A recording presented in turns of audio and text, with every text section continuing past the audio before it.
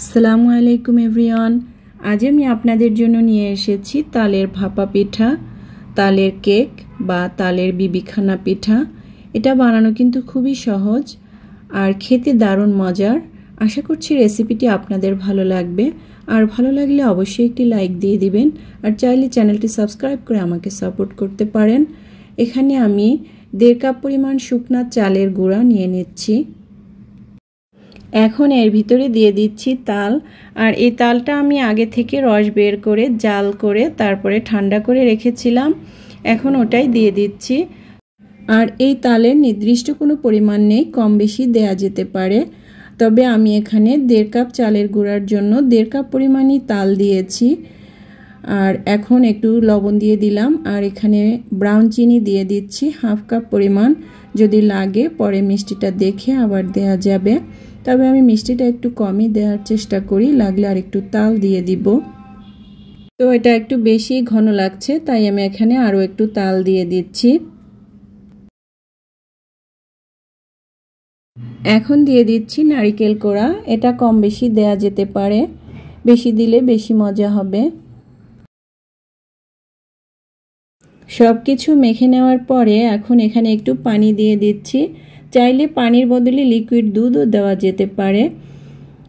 যেহেতু এটা শুকনা চালের গুঁড়া, তাই একটু পানি দিতেই হবে। আর চাইলে আরও একটু পানি বা দুধ দিয়ে আরও একটু পাতলা করেও নেওয়া যেতে পারে। তা আমি আজকে বেশি পাতলা করিনি। ঘন করলেও হবে, আর একটু পাতলা করলেও হবে। যেভাবেই করেন ফুলবে। এখন ঢাকনা দিয়ে ঢেকে রেখে দেব দুই থেকে আড়াই ঘণ্টার জন্য। ফিরে আসছি আড়াই ঘণ্টা পরে। এখন এখানে আমি হাফ চা চামচ বেকিং সোডা দিয়ে দিচ্ছি। এতে করে কেকটা ভালো ফুলবে। বেকিং সোডাটা মিশিয়ে নেওয়ার পরে এখন আবার ঢাকনা দিয়ে ঢেকে রেখে দেব আধা ঘণ্টার জন্য। অন্যদিকে চুলায় একটা হাঁড়ি বসিয়ে আমি কিছুটা পানি গরম করে নিয়েছি। পাতিলের মুখটা একটু বেশি বড় হয়, চারপাশ থেকে কাপড় পেঁচিয়ে দিয়েছি। আর এরকম একটা ছাকনি নিয়েছি আমি। এখন এর উপরে আমি একটা পাতলা কাপড় বিছিয়ে দিচ্ছি। এখন এর ভিতরে সেই মাখিয়ে রাখা পিঠার ব্যাটারটা দিয়ে দিচ্ছি। এখন উপর দিয়ে কিছু কোড়া নারকেল দিয়ে দিচ্ছি। এতে করে দেখতেও খুব সুন্দর লাগে আর খেতে তো দারুণ মজার হয়। এখন ওপর থেকে এই কাপড়টা আলতোভাবে এভাবে দিয়ে তারপরে ঢাকনা দিয়ে ঢেকে রেখে দেব এক থেকে দেড় ঘণ্টার জন্য। সময়টা কম বা বেশি লাগতে পারে, তবে পিঠা হবে, না হওয়ার কোনোই কারণ নেই। চুলার আঁচটা আপনাদেরকে আমি একটু দেখিয়ে দিলাম। খুব বেশিও থাকবে না, আবার কমও থাকবে না, এভাবে চুলার আঁচ রাখতে হবে। তো আমার প্রায় এক ঘণ্টার বেশি হয়ে গিয়েছে, এখন আমি এটা খুলে নিচ্ছি। দেখি কেমন হয়েছে।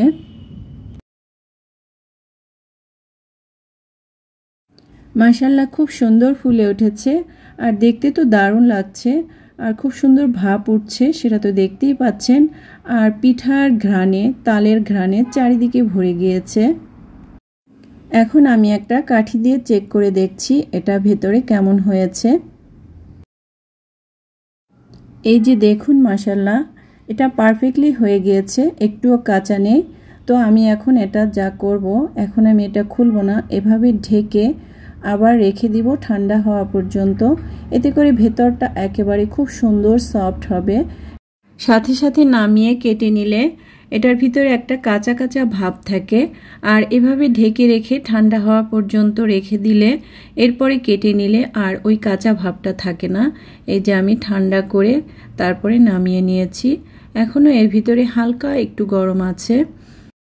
দেখুন মাসাল্লাহ পিঠাটা কত সুন্দর সফট হয়েছে। আর পিছন দিকটাও খুব সুন্দর হয়েছে। এই যে দেখতে পাচ্ছেন, একদম সফট, আর ভেতরটা একেবারেই খুব সুন্দর হয়েছে। আর আমি এখন এটা কেটে নিচ্ছি। এরপরে আপনাদেরকে সার্ভ করে দেখিয়ে দিচ্ছি। দেখুন মাসাল্লাহ দেখতে কত চমৎকার লাগছে। আর এই যে আপনাদেরকে একটু ভেঙে দেখিয়ে দিচ্ছি, ভেতরটা কত সুন্দর হয়েছে। আর এই সাথে আজকের মতো বিদায় নিয়ে নিচ্ছি। সবাই আমার জন্য দোয়া করবেন। সবাই ভালো থাকবেন। আল্লাহ হাফিজ।